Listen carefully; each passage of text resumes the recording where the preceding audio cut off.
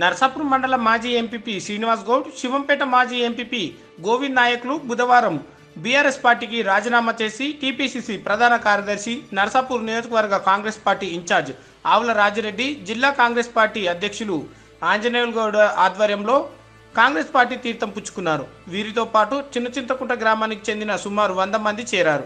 ఈ సందర్భంగా వారు మాట్లాడుతూ గత పదేళ్ళుగా బీఆర్ఎస్ పార్టీ తెలంగాణ రాష్ట్రాన్ని అన్ని విధాలుగా దివాలా తీసి వారి కుటుంబం మాత్రమే వేల కోట్లు దోచుకున్నారని తెలంగాణ ఉద్యమకారులను కూడా పట్టించుకోలేదని ఇప్పుడు ఫలితాన్ని అనుభవిస్తున్నారని తెలిపారు. అందుకే బీఆర్ఎస్ పార్టీ నాయకులు కార్యకర్తలు అందరూ పార్టీని వీరుతున్నారని తెలిపారు.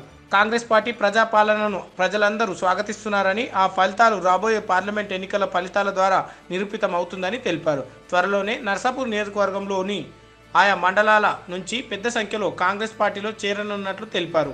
ఈ కార్యక్రమంలో కాంగ్రెస్ పార్టీ రాష్ట్ర నాయకురాలు సుహాసిని రెడ్డి మండల అధ్యక్షులు గుర్రాల మల్లేశం సీనియర్ నాయకులు శ్రీనివాస్ గుప్తా ఆంజనేయ గౌడ్ అశోక్ ఉదయ్ సురేష్ నాయక్ రషీద్ అజ్మత్ అశోక్ గౌడ్ నాయకులు కార్యకర్తలు పాల్గొన్నారు. మాజీ ఎంపీపీ శ్రీనివాస్ గౌడ్ గారు ఈరోజు కాంగ్రెస్ పార్టీలో చేరబోతున్నాడు బీఆర్ఎస్ నుంచి. అతనికి సాల్వతో సాల్వతో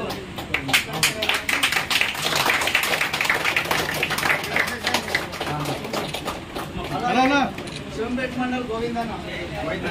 గోవింద మాజీ ఎంపీపీ ఆయన కూడా చాలాతో సత్కరించగలను